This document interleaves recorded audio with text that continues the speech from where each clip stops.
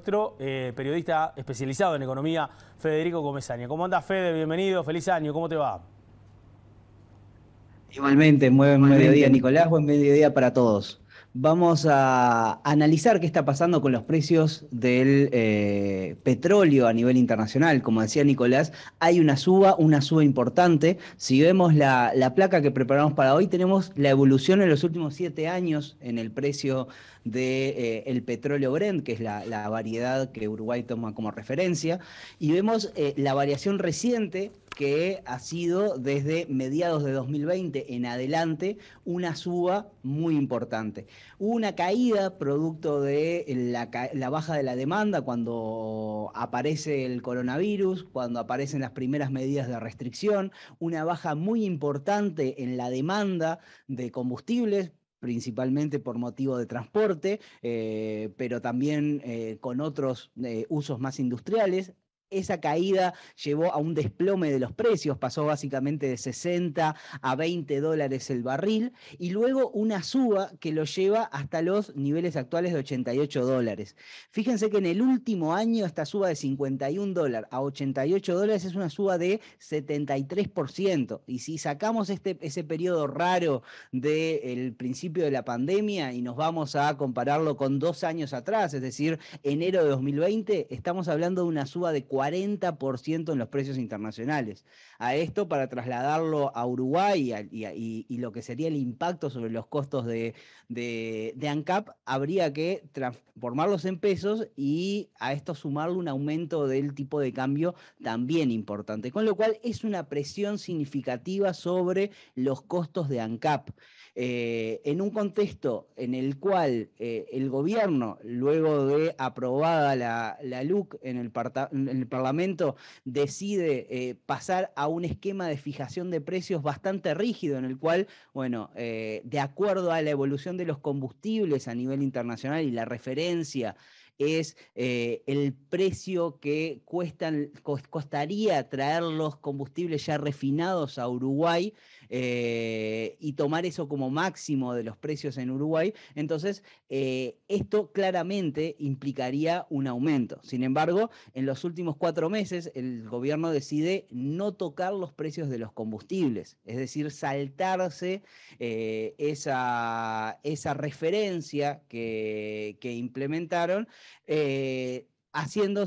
haciendo valer una de las cláusulas que tiene la propia ley de urgente consideración, que dice, bueno, el gobierno es en última instancia el que va a tomar la decisión y puede eh, definir, saltarse este, este, este, estos lineamientos eh, más generales. Entonces, eh, claramente hay una voluntad política de no subir los combustibles. Esto tiene, por un lado, un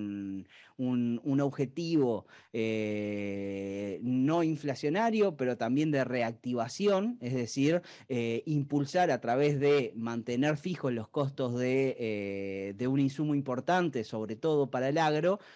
mantener la competitividad de los productos uruguayos y ayudar a la recuperación económica, pero también varios analistas advierten un objetivo político. ¿Por qué? Porque hay un referéndum dentro de pocos meses y además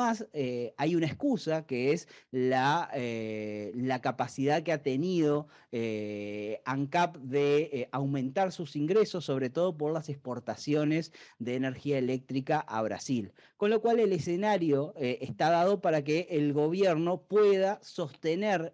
los precios de los combustibles sin afectar significativamente el déficit fiscal y eliminar uno de los aspectos que hace a las críticas eh, a la ley de urgente consideración, que es el impacto sobre los combustibles. Claramente, eh, esto implica el eh, transferir recursos desde las finanzas públicas hacia directamente los consumidores de combustible y los sectores que más se benefician con eh, sostener estos precios y evitar eh, ese aumento. Ahí la, pregunta quizás que hacen algunos es, bueno, ¿es efectivamente la transferencia óptima en un momento como el actual, donde hay otros sectores más perjudicados y donde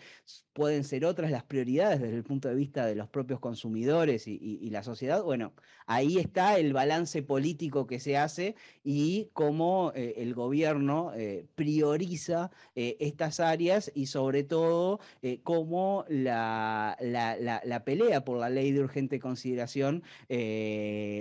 tiene consecuencias sobre otras eh, áreas eh, de la economía más allá del terreno netamente jurídico. Eh, lo que se espera a nivel internacional, bueno, hay algunos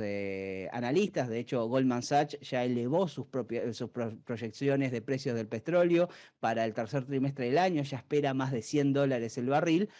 hay que esperar y ver cómo se soluciona. Por el lado de la oferta los problemas que hay a nivel de tensión geopolítica, eh, problemas sobre todo en Medio Oriente y, los suministros de, combustible, también problemas vinculados a las, bajas temperaturas en, varios países productores eh, y cómo se solucionan los problemas de demanda, que tienen que ver con que ya la demanda de combustibles está en niveles anteriores, muy cercanos a los niveles anteriores al COVID eh, y por lo tanto eh, empujan al alza también los precios. Entonces, eh, de cómo se resuelvan estas tensiones es cómo va a terminar llevándose a precios, pero el escenario más probable es justamente precios al alza del petróleo que generan presiones para que el gobierno ceda y aumente los precios de los combustibles en los próximos meses. Muy bien, gracias Fede, clarito, vamos a esperar que marca la tendencia y el informe de la URSEA. Un abrazo. Que pasen bien, hasta luego. Vamos a otros temas ahora, les contamos que detuvieron en Rivera al principal sospechoso del homicidio